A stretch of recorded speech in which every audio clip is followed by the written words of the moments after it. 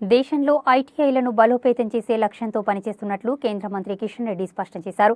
మారుతున్న అవసరాలకు అనుగుణంగా కొత్త కోర్సులతో దేశవ్యాప్తంగా మోడల్ ఐటీఐలను రాష్ట్ర ప్రభుత్వ సహకారంతో అభివృద్ధి చేస్తున్నామని వివరించారు.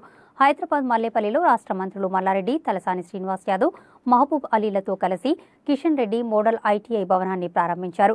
దేశంలోని అన్ని రాష్ట్రాలలో ఐటీఐలను గుర్తించి మోడల్ ఐటీఐలుగా అభివృద్ధి చేయాలని నిర్ణయించినట్లు కిషన్ రెడ్డి స్పష్టం చేశారు.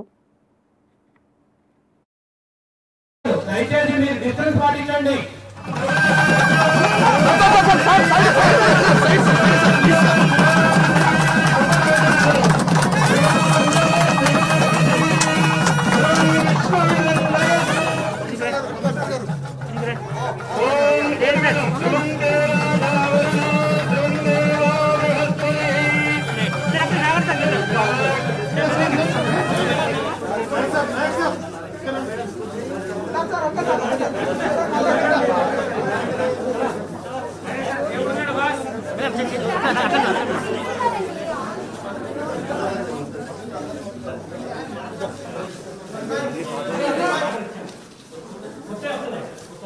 మల్లెపల్లి ఐటీఐని ఒక మోడల్ ఐటీఐగా ఈరోజు మనం గుర్తించి దీన్ని అభివృద్ధి చేసుకున్నటువంటి కార్యక్రమంలో మొదటి మెట్టు మొదటి అడుగు ఈరోజు ప్రారంభమైంది.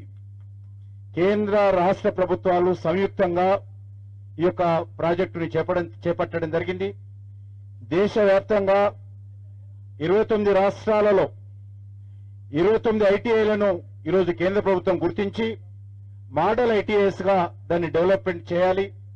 ఎందుకంటే చిన్నప్పటి నుంచి కూడా మనకు తెలుసు మూసపోయినట్టు ఈ ఐటీఐలో ఫిట్టింగు టర్నరు ఇవే వెల్డింగు ఈ కోర్సులతోటే మరి అనేక సంవత్సరాలుగా నడిచేది ఆ రోజు అదే ప్రాముఖ్యత ఉండేది కానీ మారుతున్నటువంటి పరిస్థితుల్లో మారుతున్నటువంటి న్యూటన్ టెక్నాలజీ వచ్చినటువంటి పరిస్థితుల్లో ఈరోజు అనేక రకాల ఎంప్లాయీస్ ఎవరైతే ఉంటారో ఎంప్లాయర్ అయితే ఎవరైతే ఉంటారో వాళ్ళ అవసరాలను కూడా గుర్తించి ఎవరైతే ఉద్యోగాలు ఇస్తారో ఎవరైతే ఉద్యోగాలు చేయాలనుకుంటున్నారో ఎవరైతే ఉపాధి అవకాశాలు కల్పించాలనుకుంటున్నామో వాళ్ళ అవసరాలను గుర్తించి కొత్త కోర్సులు ప్రారంభించుకోవాలి.